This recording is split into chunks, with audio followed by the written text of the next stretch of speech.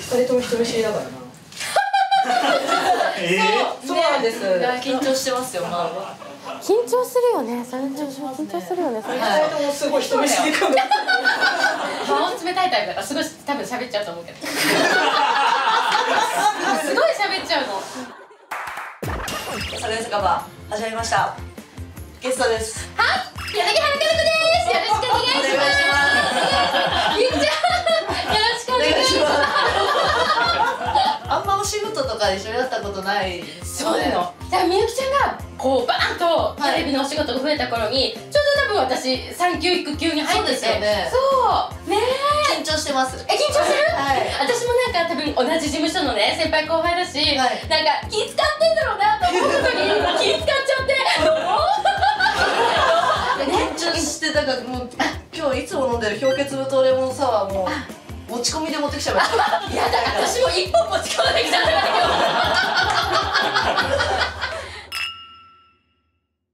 よろしくお願いします。ありがとういただきます。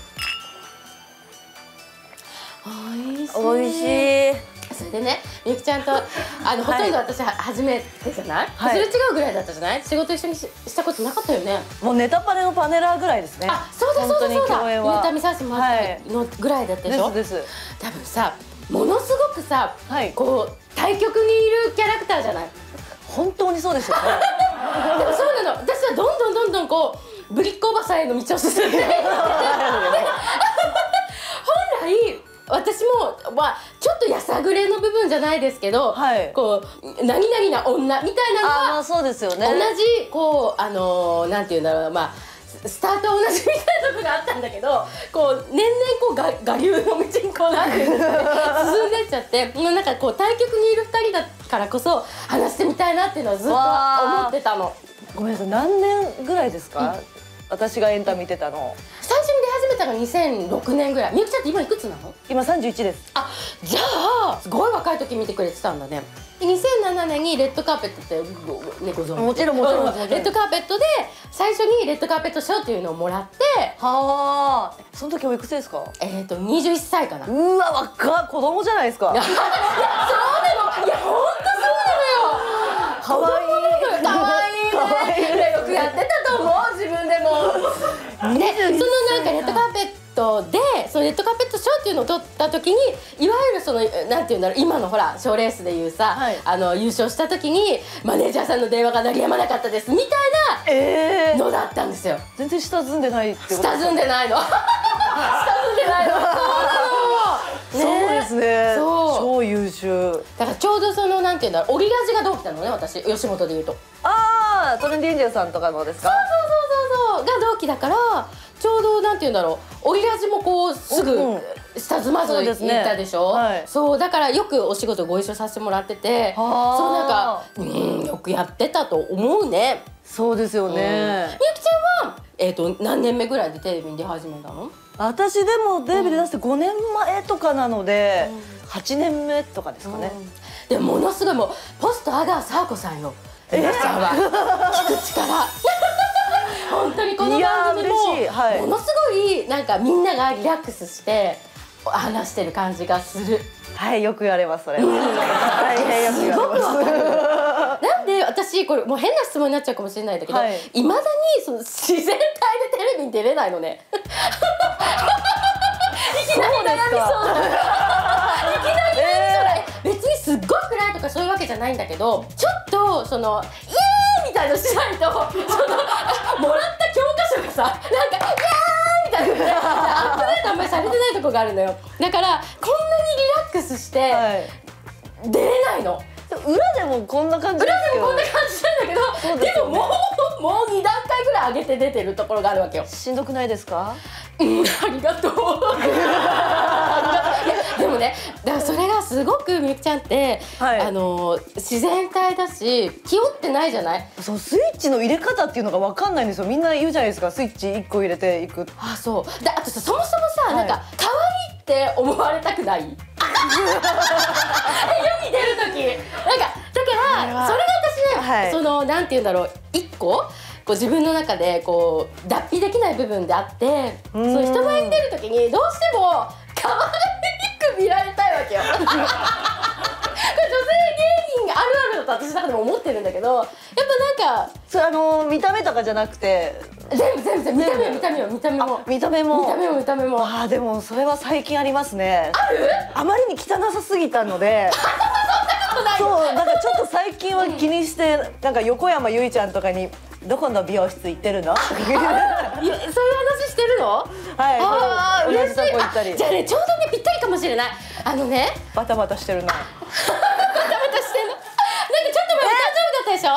おめでとうということでなんかこのあの番組も、はい。お衣装ご自前だって聞いたから、はいなんかちょっと、ね。あの着れる感じのものを買ってきました。わあ嬉しい。お洋服ですか？うん開けてみてわ可愛い。可愛いいでしょ全部ねあの若槻さんとこのブランドなのよ。あそうですか。そうそうそう WCJ なんかその、うん。私が着たらはなんかピンクとかそんな着れないのであめちゃめちゃうん。すっごい悩んだの。あのピンクのライダースにしようかってすっごい悩んだの。ライダースよく着てるでしょ？ピンクのライダースもらってたら着てなかったですね。やっぱりあよかった。二択ですね。うんうんうん黒好き。ねえすごい可愛くないですかこれ。すごい可愛いんですよ。すごい可愛いんです。これ猫ちゃんがもうこう前面にドーンと。可愛いですあと実家のね猫見てる。はい。わあよかった。嬉しい。やったやったやった。着替えましょうか。えいいの？いいですか？えなんかすごい嬉しい。いやそれはもちろん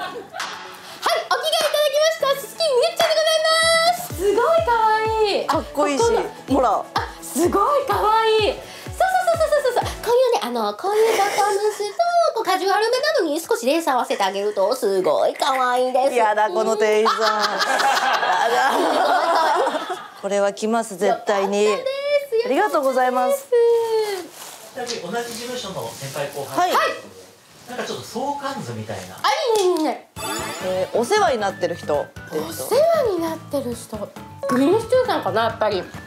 ああそれこそペケポンですよね。うん。ペケポンから数えるともう17年とかそれぐらい。うわペケポンになってこうどんどんどんどん番組が変わってって、今はい。今夜謎とって番組になってるんだけど、はい。同じメンバーでずっと17年。すごいですよねそれ。そうなの。で最初はフィルムさんと高俊さんの番組だったのうんでなんか初回のゲストで呼んでもらってそうなの。それでコーナーもらってレギュラーになったの。えー、ペケポンでそんなパターンあるんですね、それでもうずいぶん長いこと一緒になってて有田さんには多分みゆきちゃんもすごくそうだと思うんだけどちょっとなんかこう仕事で悩んだりとかしたら、有田さんにいろいろ相談したりとか、本当にお兄さんですよねうん。すごくこうもうなんか芸能界全部こう本当に俯瞰で見てるような感じでこういうふうにやなアリジェネでってたら、うん私もお世話になって、そっかそっかそっか。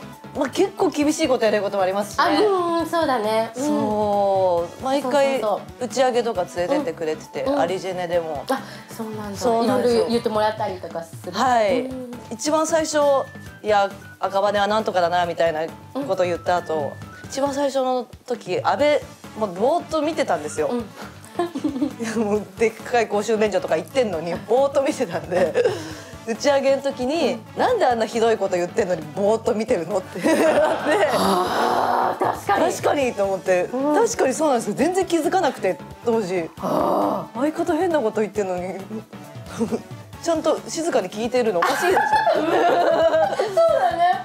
そうですね。それでネタすぐ変えて次から突っ込むようにしたりあーだから有田さんのすごく言ってることってものすごい正しくてさそうね。で私もけあの結婚する前ね、はい。あの今のパパと付き合ってた時に有田さんにすごい相談しててであの結婚とか考えてないの？みたいなこと有田さんにね言われて、で今ちょうど付き合ってる人がいるんだけどなんかもうすぐ結婚したくてもう結婚して結婚してって言ってるんですって。もうゼクシーとか置いちゃったりとかしてもう見よせもうガンガンみたいな感じでやってるんですみたいなこと言ったら今すぐそれ全部やめろっつって。え？男はそういうふうに結婚結婚って言われると嫌になっちゃうから。あもう結婚の毛の字も言わないで。う芸事以外にもその恋バナとかも。言ってみ言ってみ。そ恋れ愛相談もしていいんですか？で私もそっからパッともうゼクシしてしまって。もう結婚の毛の字も言わなかったの。そしたら半年ぐらいして本当にプロポーズしてもらえてえー、もうえー世の中に発表する前に有田さんにもう楽屋に「あのー結婚することになりました!」って言いに行ったらもう本当に「な」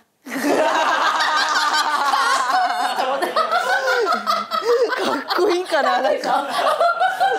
いや有田さんも私も有田さんめちゃめちゃお世話になってるんで。すっごくこうあのねあのテレビも見てくださってるよねものすごくね。うん。噂ですけど有田さんの家テレビ42個ぐらいある。そ そんなわけないぐらい同じ時間帯にやってるやつの話とかもするんで。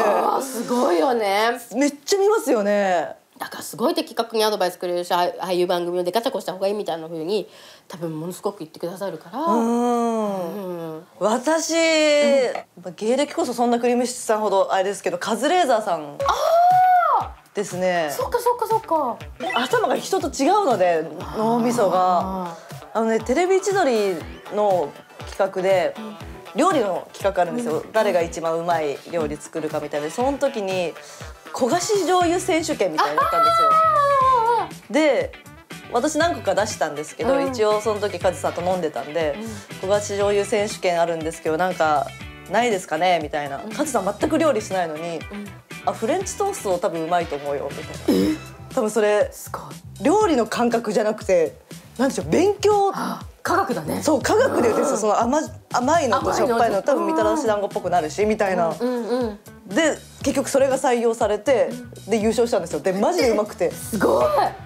これもすごい。とか r 1のネタとかもカズさんに結構相談したりとか何を相談しても答えてくれるんで。自分が持ってない脳みそを持ってるんだねそうそうなんですよそうなんですよ。うん本当にね。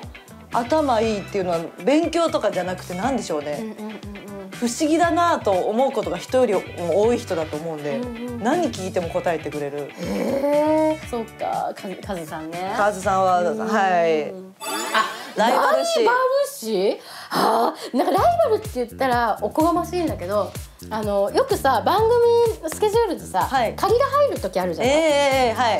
であこの番組決まんないかなと思って願ってたらバラシになることってよくありますあります。あるでしょ？めちゃめちゃあります。でさそれをさテレビでさ本番見たりとかするとさ柴田理恵さんが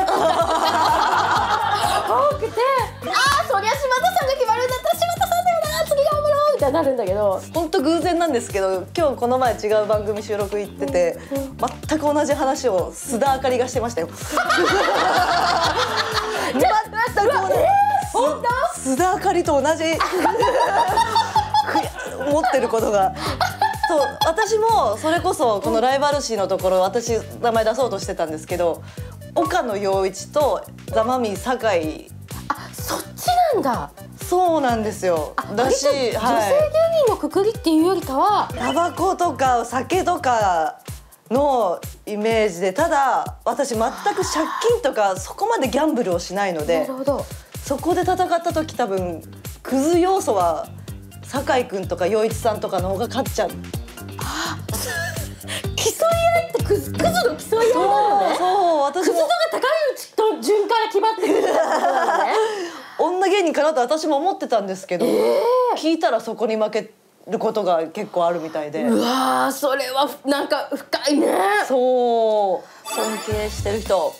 はこの間さやすこちゃんとさはい。収録でご一緒した時にね「もうすごい忙しいでしょ」っつって「焦ってる」みたいなこと言ったの。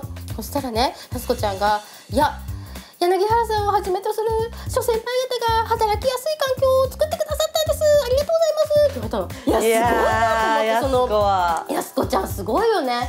で私もわあそうだなと思ってなんかねたくさんその女性芸人の先輩方がそのいろんなそのね女性芸人の活躍しやすい雰囲気を作ってくださって自分もあるんだなっていそうですねそれなんはかやすこちゃんのその気持ちを聞いてすごいなと思ってああ改めて自分もなんかたくさん若い時胸を貸してもらったなっていう気持ちになったっていうか。うんやす子はねそすの仲いいんだよね。仲いいです仲いいです。うん。気遣いすぎなんでそういう発言すぐ出てくるとこは ありますけどね。はい。その考えは確かに確かにと思いましすごたねえ。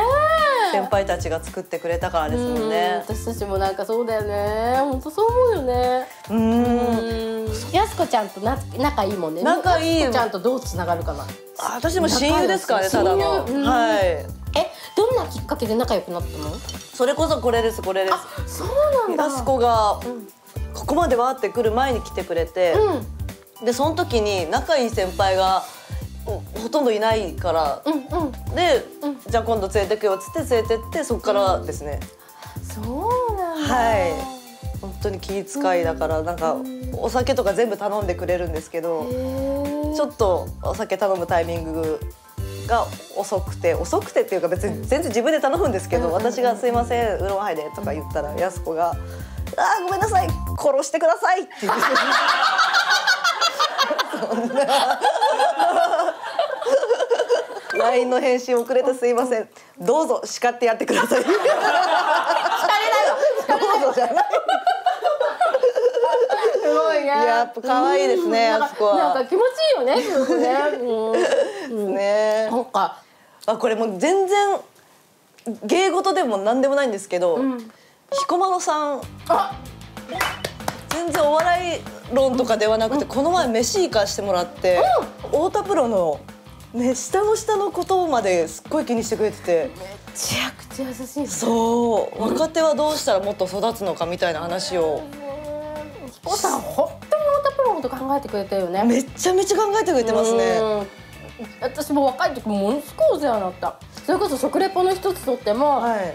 なんかご飯はこういうふうに物あげてあ箸上げするんやでとかカレーはスプーンの中にご飯とカレー半々にしてカレー作りやとか。カレースプーンの中にねちっちゃいカレー作りやとかピコさんにものすごいお世話になった。本当に考えてくれてる方なんものですすごいだね。焼き鳥盛り合わせ頼んでくれて、そしたら焼き鳥盛り合わせ一人一皿来て。